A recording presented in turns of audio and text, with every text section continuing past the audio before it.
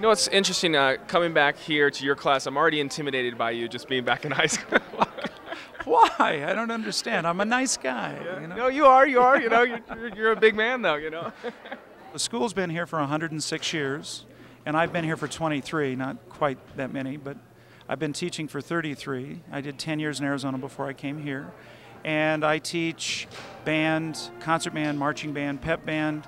Uh, we do a little bit of everything, little jazz band. I was noticing tons of trophies up there on the wall, so it's been a successful band. The Elko High School Band of Indians has done three Tournament of Roses parades and two Macy's parades. They've done all the bowl games on the West Coast at least twice. How do you get invited to? You know, I mean, obviously the Pasadena Tournament of Roses Parade is huge. Yeah, well, you send videotapes and get letters of recommendation, and you win the state championship 10 or 11 times and never come in lower than second, and people pay attention to you, you know. But the fun thing for us is the comments that I got, like I got at our festival this last week, when they ask how many kids study privately, and you say nobody. And they say, well, you shouldn't be able to play the music you play. And I say, well, the kids like to play, so it's, and it's the kids. It's not me. Trust me, it's not me.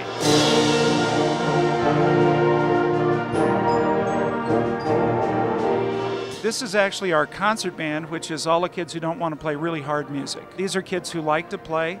They're in the marching band, but they don't want to do things that are really, really demanding because most of them are involved in athletics or they're doing drama or forensics or some of the other myriad programs that we have here at Elko High School. I wish you could stick around for some of the other groups because they're not the best players and you know, there's some others that play a lot better.